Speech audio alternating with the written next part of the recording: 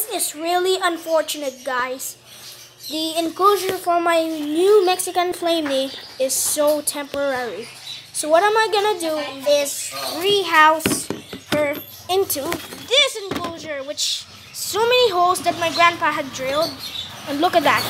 Oh, oh. it's gonna take this out. And there you go. That's much better.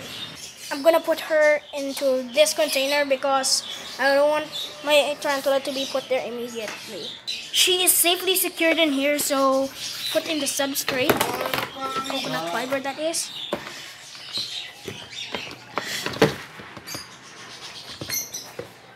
There's still more coconut fiber. Damn it.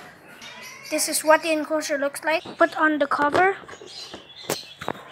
And now we release the beast. Come on.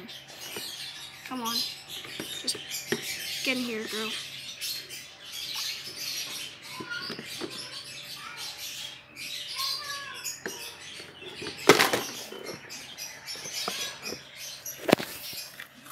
Okay, I'm using the stick.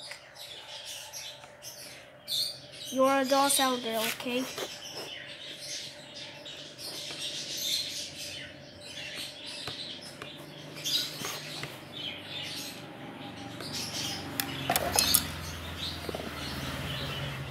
Okay, she's into her bigger enclosure. Man, so you guys, I need to I need to cover this box up because because these Mexican flame knees, they're new worlds, but they behave like old worlds, which is they behave like old worlds because they can jump like an old world. Let's go feed her uh, giant mealworm. Whoa. Mm. Worm, worm, worm. Go, go, go, go. Worm. Oh, oh, is she going for it? Oh, oh my. Worm.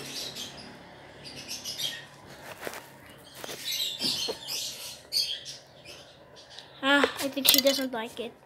I'm not gonna leave it in her because the worm will eat her. So I hope you like the Mexican Flame Flamely rehousing enclosure. If you do, you're thumbs you're gonna thumbs it up. If you didn't, you're gonna thumbs it down.